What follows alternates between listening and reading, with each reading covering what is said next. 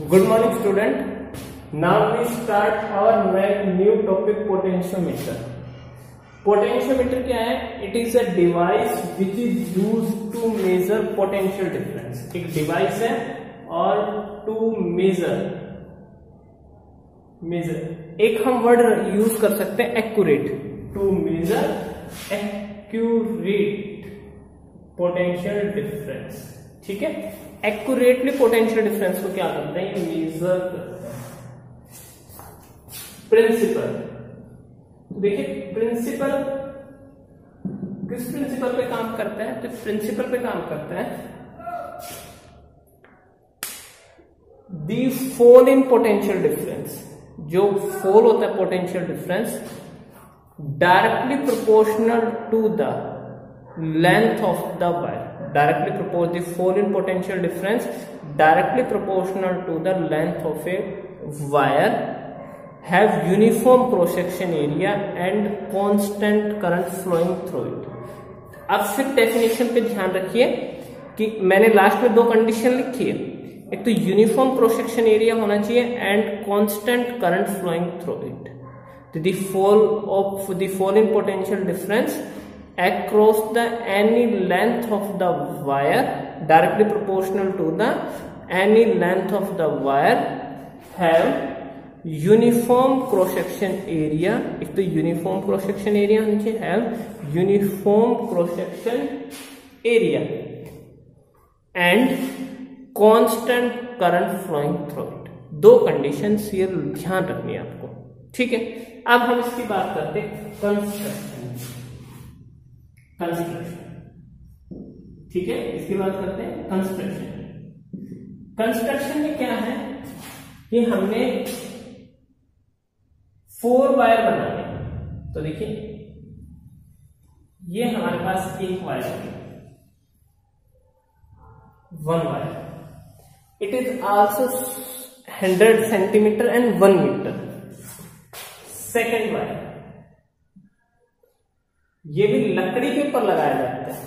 ठीक है ना? जैसे डेक्स होगी ना हमारी, उसके ऊपर हम कॉपर की ये जो लग रहे हैं कॉपर स्ट्रिप लग रही है। ताकि करंट ऐसे कॉपर वायर से कनेक्ट होते हुए, ऐसे कॉपर वायर से कनेक्ट होते हुए ऐसे आ सके। ये भी हमारा कितना है? हंड्रेड और ये फिर हमारा कितना हो गया? हंड्रेड सभी इक्वल बने होने चाहिए। क्योंकि सारे इक्वल होते हैं। कभी बच्चे क्या करते हैं एग्ज़ाम में? एक छोटा, एक बड़ा बना देते हैं, फिर वो डायग्राम गलत है। सभी वायर्स इक्वल होने इसलिए सारे एक कंप्लीट लाइन में आना चाहिए। इन इन छोटी चीज़ों को आपको ध्यान रखना है। ठीक है? अब यहाँ पर क्या लगा होता है यहाँ से चलना शुरू करते थे एक तो लगी हुई थी बैटरी ठीक है?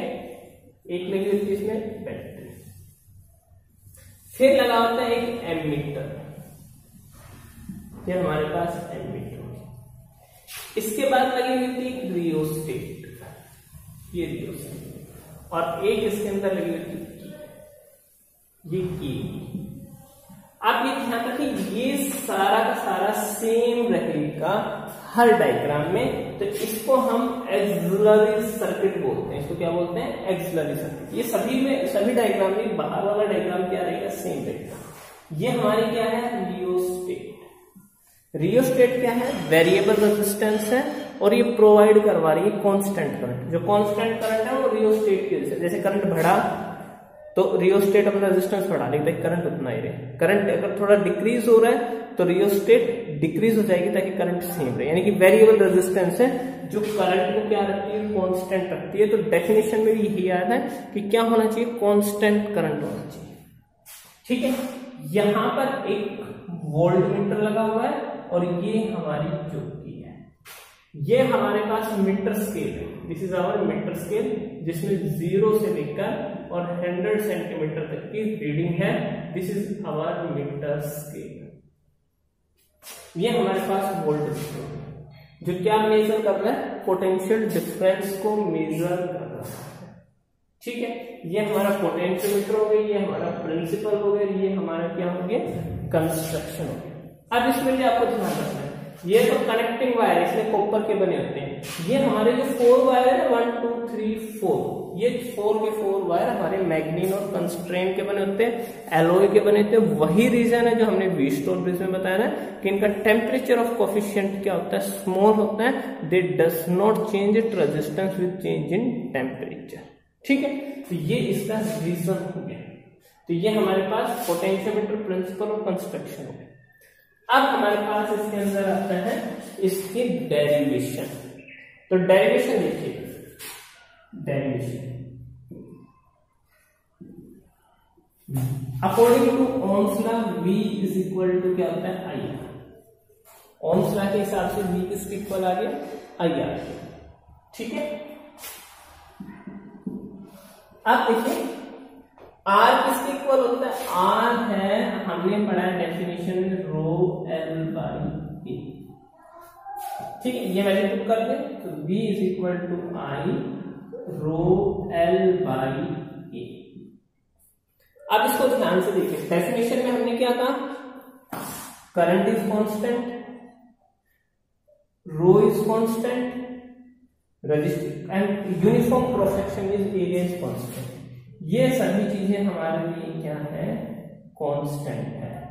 तो V is directly proportional to L यही हमें देखना है। ठीक है ना? V is directly proportional to L ठीक है?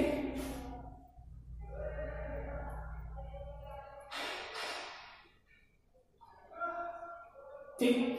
तो V is directly proportional to L तो हमारे पास ये आ अब डायरेक्ट इसको हम क्या बोलेंगे? इसको हम बोलेंगे दिस इज़ कॉल्ड के के की वैल्यू क्या होगी? K is equal to I rho A rho is called specific resistivity तो K K is called potential this is constant constant हो गया।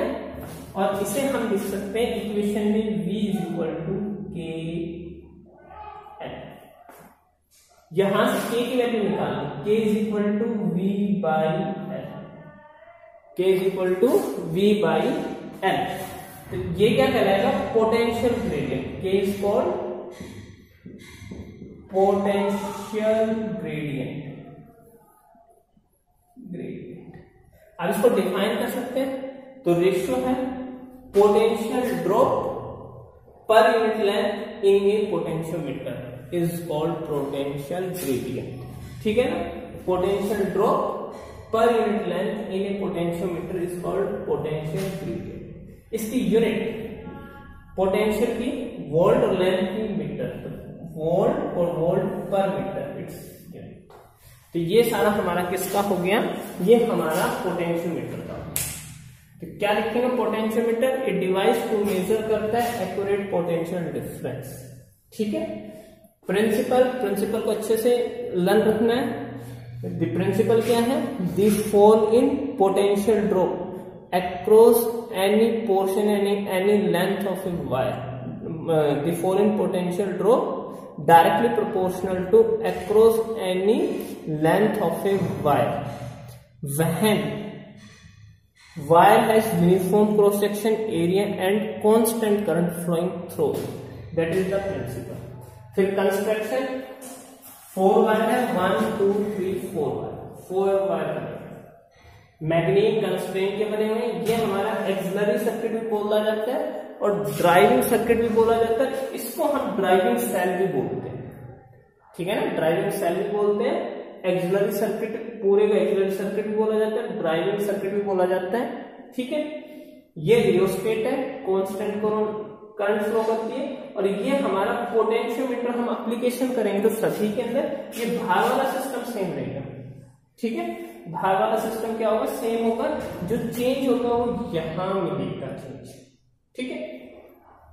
Derivation v is equal to I R R हमें पता है रो एल बाई ए होता है, वो value हम यहाँ पुट कर देंगे आर की जगह।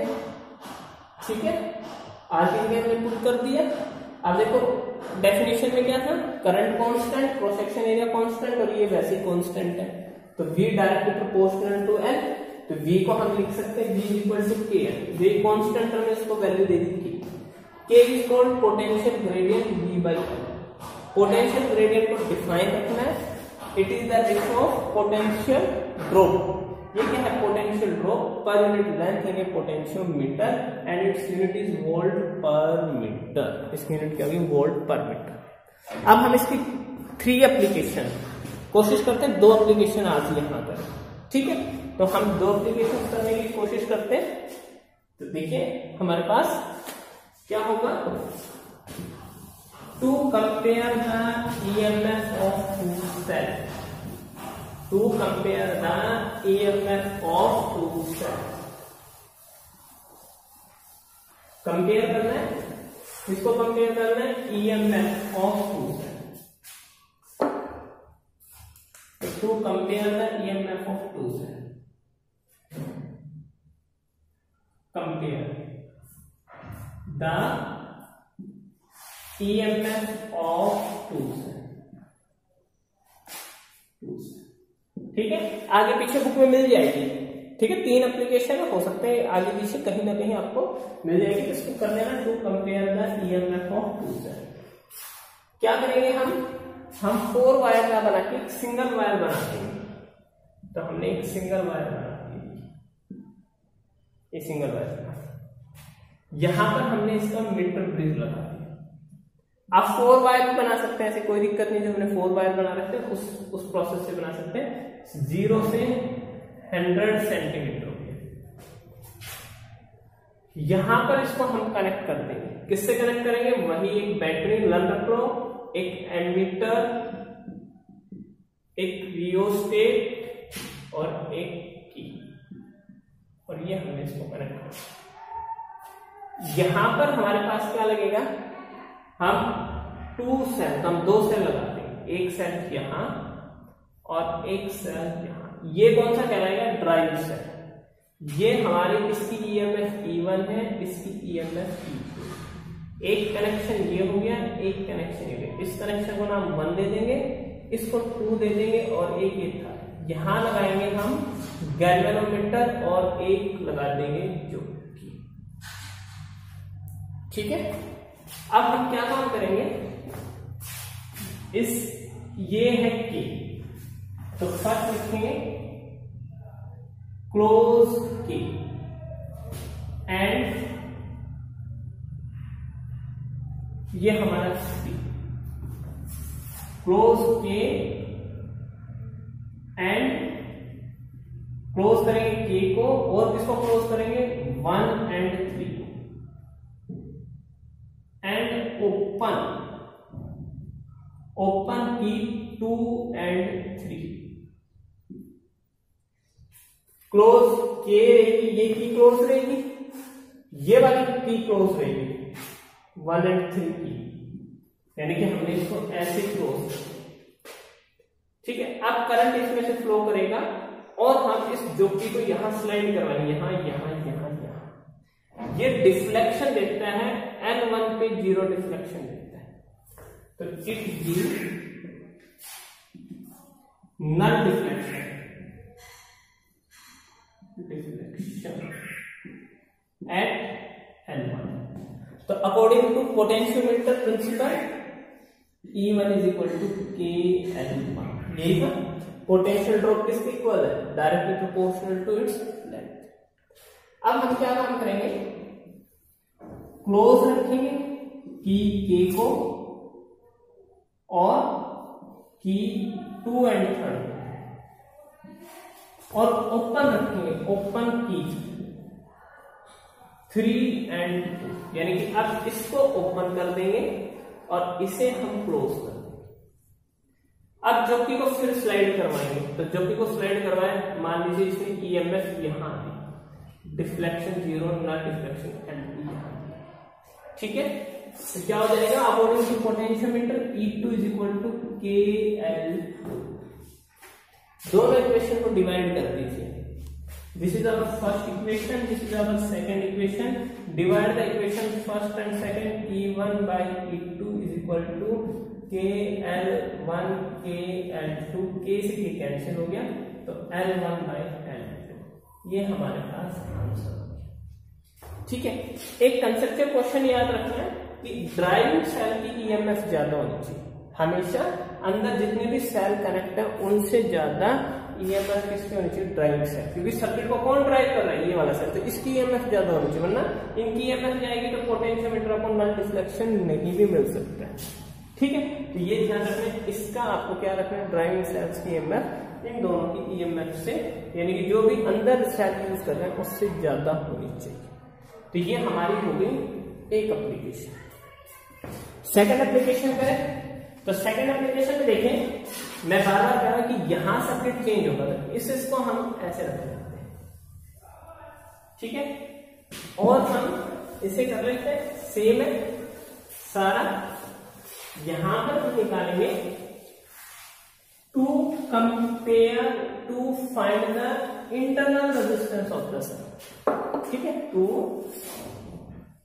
find internal. Internal resistance resistance of ठीक है? To find internal resistance of cell जो सेल है, उसका इंटरनल रेजिस्टेंस निकालना ये तो सेम डायग्राम देगा आप इसको कभी चेंज नहीं करना यहाँ पर आपको एक सेल यूज़ करना है। यहाँ पर उसको आपको एक रेजिस्टेंस यूज़ करना है। एक रेजिस्टेंस हो गया। और आपको यहाँ एक की यूज़ करनी है। जो रेजिस्टेंस है ना रेजिस्टेंस के साथ की यूज़ करनी है। यहाँ एक जो की ये जो की इसको नाम के टू रखना के वन तो फ़र्स्ट क्या करना है इसमें? कनेक्शन को ध्यान रखना है। K is close K close इसकी ईएमएफ को ये लिखते हैं। के इज़ क्लोज ठीक है? के इज़ क्लोज और इसका इंटरनल रेजिस्टेंस स्मॉल आ रहा है तो के इज़ क्लोज और के वन इज़ ओपन ये हमारा के वन के वन है, इसको ओपन रखना है। तब सर्किट कैसे बना हमारा क्लोज सर्किट ऐसे बनेगा। ये। ना जो कि स्लाइड जो कि is sorry give null deflection give null deflection at L one L one पे देखिए तो according to potentiometer E is equal to K L ठीक है? E is equal to K L अब हम क्या बात करेंगे? Second K is close and K one is also close is close दोनों क्लोज अब सर्किट में क्या अब स्लाइड का जोकी अब फिर जोकी को स्लाइड करेंगे नाउ जोकी इज़ स्लाइड जोकी को स्लाइड किया give deflection give deflection at L two L two से यानी कि हम ऐसे बना दें यहाँ दे ये हमारे पास L two B according to potentiometer क्योंकि के एल टू सेल नहीं है। सेल नहीं है रेजिस्टेंस आ गया तो टर्मिनल पोटेंशियल आ जाएगा B is equal to K L two तो this is our first equation and this is our second equation on divide equation first and second ठीक है? तो E by V is equal to K L one by K L two K से K cancel हो गया। L one by L two ठीक है? The value of internal resistance तो जो इंटरनल रेजिस्टेंस उसकी वैल्यू देखिए। हमने पीछे फॉर्मूला पढ़ा है। Internal resistance of the cell तो इंटरनल रेजिस्टेंस ऑफ़ सेल का फॉर्मूला पीछे हमने किया है तो बुक में आके ध्यान रखना। R is equal to E minus V by V into this is the formula of internal resistance ये फॉर्मूला इंटरनल रेजिस्टेंस का। इसको लर्न कर अलग अलग कर दीजिए। E by V minus one into R E by V को क्या लिख सकते हैं? L one by L two this is L one by L two minus one into R it is equal to L1 minus L2 by L2 into R. This is the our internal ये क्या है? हमारा internal resistance का formula ठीक है? तो यहाँ तक आप दो एप्लीकेशन कर लेना। एक एप्लीकेशन बच गई और एक इसमें बच गया सेंसिटिविटी ऑफ़ ए पोटेंशियोमीटर फिर ये चैप्टर खत्म हो जाएगा। Thank you